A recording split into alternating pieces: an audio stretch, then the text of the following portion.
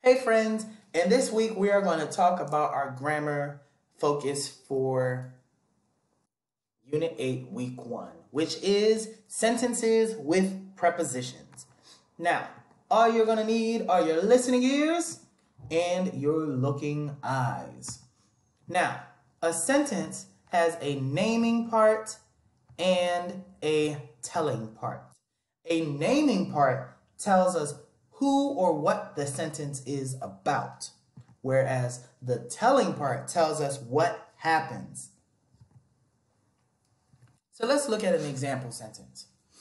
This sentence says, the boy rides in the truck, right?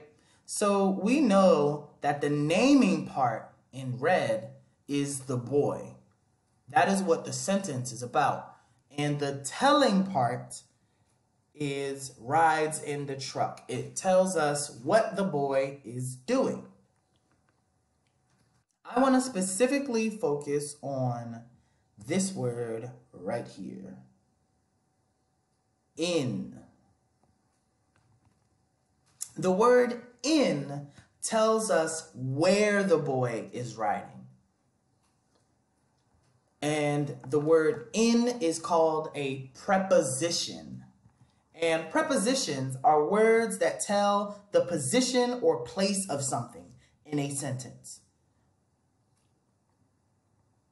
So the boy's not riding next to the truck. He's not riding behind the truck. He's right. He rides in the truck.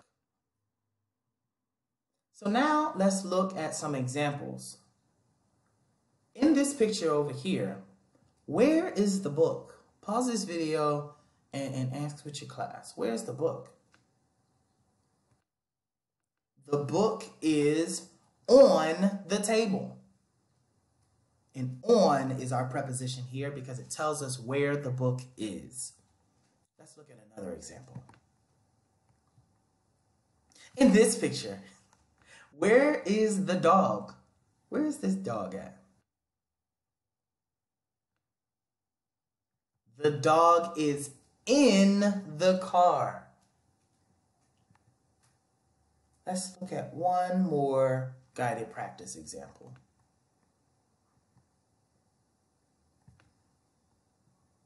Where did the girl walk? She walked to the door. So to is telling us where the girl was going. Now it's your turn. I want you to come up with your own sentences for the following prepositions. And I'm going to give you a preposition, and then I'm going to pause and wait for a second, and then I'm going to tell you what sentence I came up with. The first preposition is with. Pause this video and brainstorm some sentences that are using the word with. One sentence that I came up with, one sentence I came up with for the preposition with is, she came with me.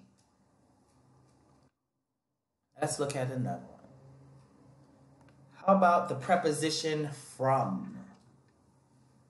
Brainstorm with your class different sentences that use the word from.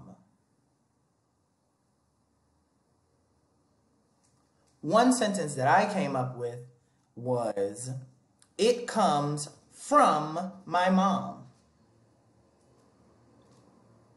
One more example. By. Hmm.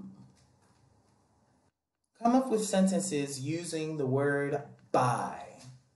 And this is not like I bought, I like to buy something from the store. It's a different kind of buy.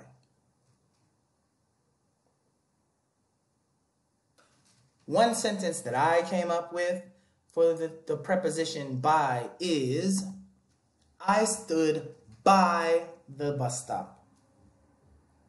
So now I have one final question that I want you guys to talk over with your class.